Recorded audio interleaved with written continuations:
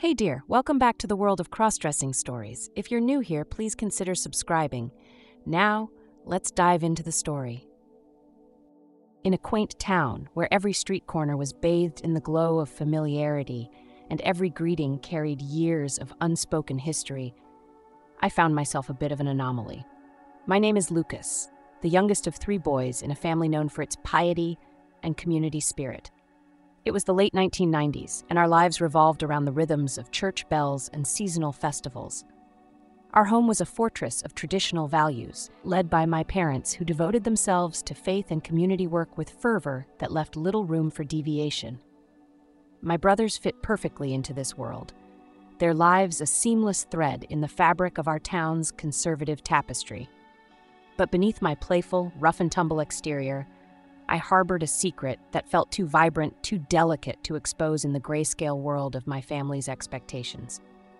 From a very young age, I felt an inexplicable pull towards the soft whispers of fabric that hung in my mother's closet the silky scarves, the fluttery dresses. It wasn't just the colors or the textures that captivated me, it was the transformation they promised, a chance to express a part of myself that I couldn't even name yet. In the dead of night, I would sometimes sneak into her room, my heart pounding a frantic rhythm, and wrap myself in the quiet luxury of her evening gown. Standing in front of the mirror, I saw a version of myself that felt more complete. Constance, our neighbor's daughter, was unlike anyone in our town.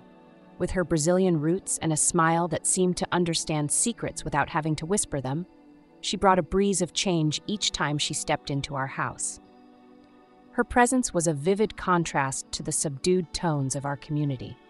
She was confident, her laughter easy, and her demeanor kind, yet there was a sharpness in her eyes, a recognition of things unspoken.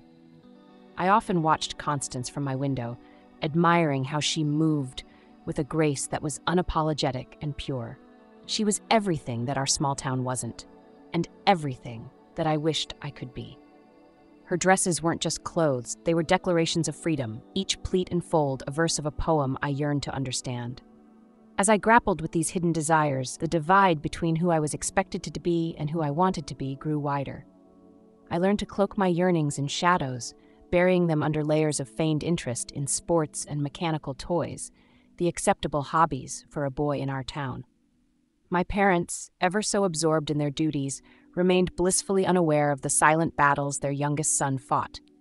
Concealed desires were like silent whispers in the attic, present and persistent, yet invisible. And every day I walked a tightrope of pretense, balancing the weight of tradition on my shoulders while clutching my true self close, wrapped in secrecy, waiting for a chance to breathe. On a crisp autumn evening, as the leaves began their colorful descent from the lofty trees my parents prepared to attend another church event.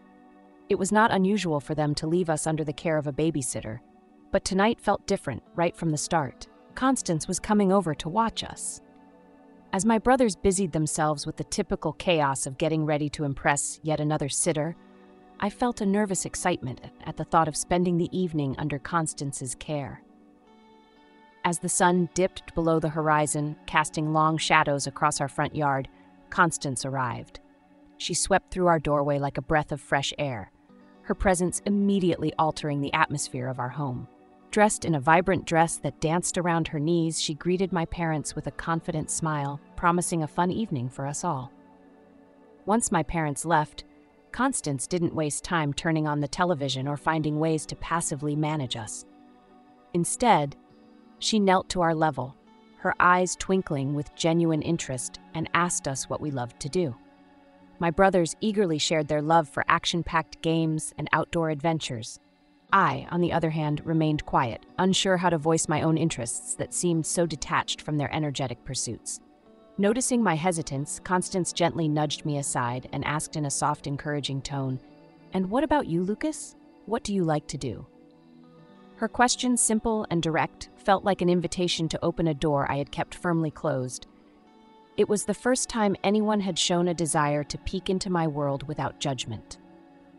As the evening progressed, Constance engaged my brothers in a vigorous game of hide and seek, which they played with loud whoops and dashes around the house. With them occupied, Constance turned her full attention back to me. She suggested we find a quiet activity, something just for us.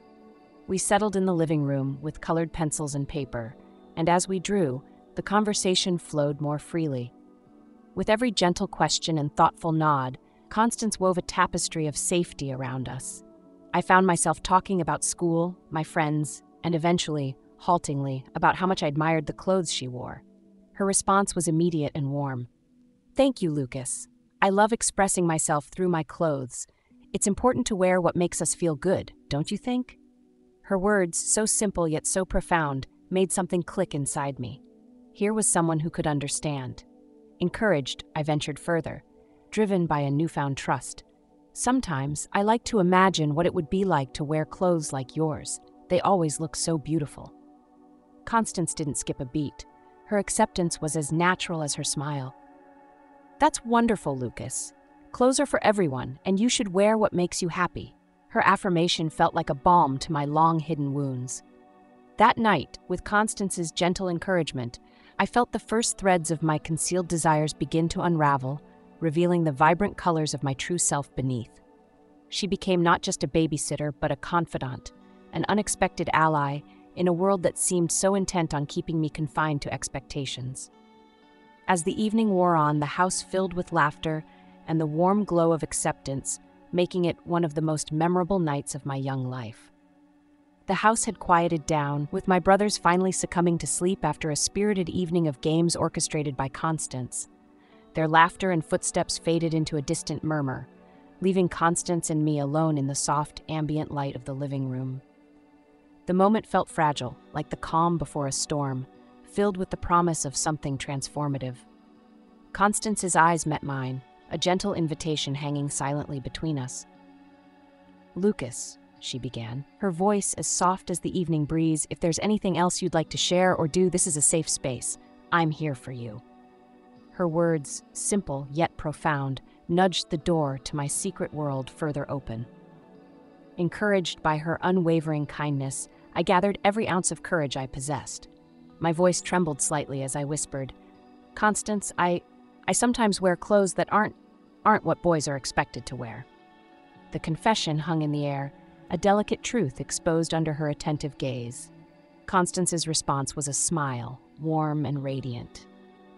Thank you for trusting me with that, Lucas. It's okay to wear whatever makes you feel happy and comfortable. Would you like to share more about this with me? Her acceptance felt like a lifeline thrown across the turbulent sea of my fears. Bolstered by her support, I nodded, and for the first time, shared the depth of my yearnings to wear dresses not just in hidden moments, but as a true expression of myself. Seeing the mixture of thrill and anxiety in my eyes, Constance proposed something that would forever change the course of that evening. Next time I come over, I can bring something for you to wear, something that you'll love something that lets you be you. The offer was exhilarating, yet terrifying. The joy of anticipation was tinged with the fear of discovery. But under Constance's gentle encouragement, I felt a rare sense of freedom the freedom to be myself. As the night deepened, Constance helped orchestrate a plan that seemed straight out of a covert operation. She gently ushered my brothers into another room, setting them up with a movie that promised to keep them distracted and sleepy. Once they were settled, she returned to me, her eyes gleaming with a conspiratorial spark.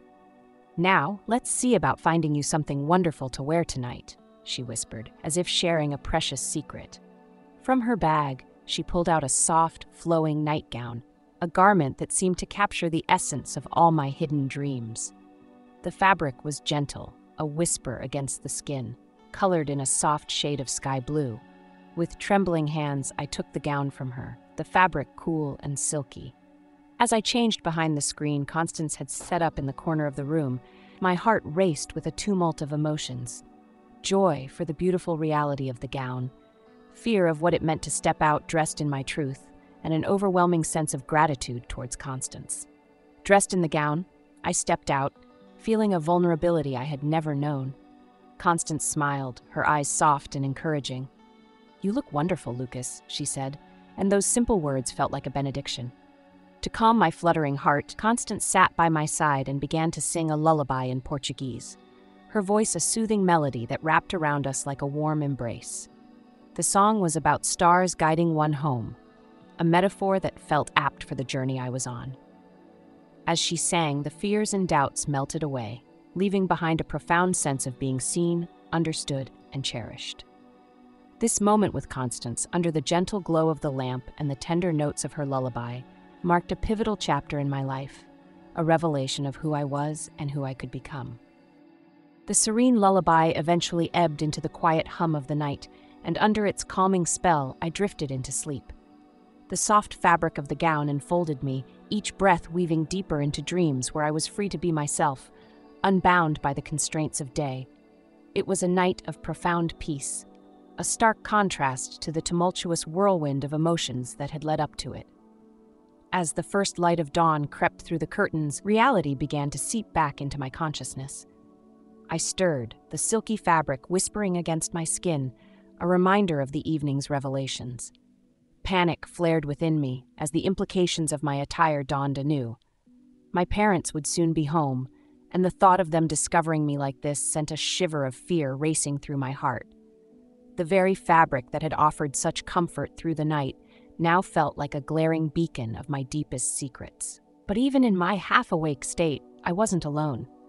Constance, ever vigilant, had stayed awake, perhaps understanding the gravity of what morning would bring. As I blinked into the dim light, trying to piece together a plan, she was already in motion. With a calm efficiency that belied the early hour, she gently woke me. Lucas, let's get you ready, she whispered, her voice both comforting and decisive. In a quiet flurry of movement, Constance helped me out of the gown, folding it with a care that seemed to honor its significance. She returned me to my usual pajamas, a transformation back to the persona I presented to the world. As I changed, my emotions were a tangled mix of relief and a poignant sadness at shedding a part of myself that felt so true. With the gown safely tucked away and my appearance seamlessly reverted, Constance turned her attention to erasing any other signs of the previous night's activities. She was meticulous, moving through the room with a grace that ensured everything was as it had been, leaving no trace of the journey I had embarked upon under her watch. As we heard the familiar sound of my parents' car pulling into the driveway, a final look passed between Constance and me, a silent pact of shared secrets and mutual understanding. The moment was brief but heavy with unspoken promises of protection and future confidences. My parents entered the home filled with the usual post event cheer, their spirits high and voices filled with the echoes of a successful night. They found us in the living room, the picture of normalcy with Constance poised as the perfect babysitter. My mother, ever expressive, was quick to praise Constance, commending her on a job well done. You must have the magic touch. Everyone is up and ready for the day. Could we be so lucky to have you again? she asked, her smile wide and appreciative. Little did she know, her words affirmed much more than a night of simple babysitting. They unknowingly celebrated an act that allowed her son to explore a truth about himself an act that could very well challenge the very fabric of their beliefs if ever brought to light. Constance responded with a modest nod, her smile hiding the depth of what had transpired. As my parents bustled around, ready to return to the rhythm of our daily lives, I watched Constance gather her things. There was a new layer to my world now, a secret depth that only she and I knew. The morning after, with its rush of normalcy and close calls, left me with a profound sense of gratitude for Constance, my unexpected guardian who navigated the complexities of acceptance and secrecy with an unfaltering grace. As the morning unfolded with the usual routines and my family's cheerful banter, my mind wandered to the corners of quiet contemplation. There was an undercurrent of anticipation mixed with uncertainty that swirled within me set into motion by last night's revelations and the gentle acceptance I had received from Constance. The fabric of the gown she promised to bring next time felt almost tangible in my thoughts, each thread woven with the potential of exploring more about who I was beneath the surface. This secret garment represented not just an article of clothing, but a gateway to understanding the deeper aspects of my identity and desires. The very idea of it stirred a mix of exhilaration and apprehension within me. How far could I walk this path of self discovery? What would I find at the end of it? These questions hung in the air like the delicate early morning mist, invisible yet palpably present. As I moved through the day, interacting with my family and performing my usual tasks, there was a part of me that remained detached, introspective, delving into the implications of embracing this hidden part of myself more fully. The potential for joy in this exploration was immense, yet so was the risk of fracturing the delicate balance of my current life. In this web of uncertainties, the promise of Constance's next visit was a beacon. Her understanding and support had opened a door I had long thought locked, and the thought of her return brought a surge of hope. Yet, with this hope came the shadow of potential conflicts. My family, bound by traditional values and unaware of my internal struggles, might not understand or accept this facet of me.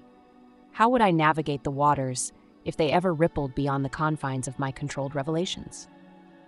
The days leading up to her return were filled with a quiet tension, a mixture of eager anticipation and nervous apprehension. Each passing moment was a step closer to another encounter with my true self and the complexities that came with it. The secrecy of it all added a thrill, but also a weight, a responsibility to maintain the facade that had been my armor for so long. As the day of her arrival approached, my heart beat with a mix of fear and excitement. The house, filled with the mundane sounds of life, seemed to echo back my fraught emotions, each creak and whisper a reminder of the journey I was on. I found myself frequently glancing at the clock, counting down the minutes until she would walk through the door, bringing with her the promise of further discovery and perhaps, more dauntingly, the catalyst for change.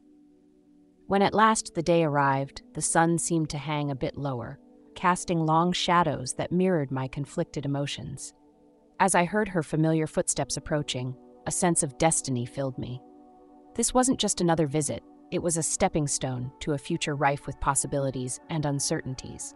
The door opened, and there she was, her presence as comforting and exhilarating as ever.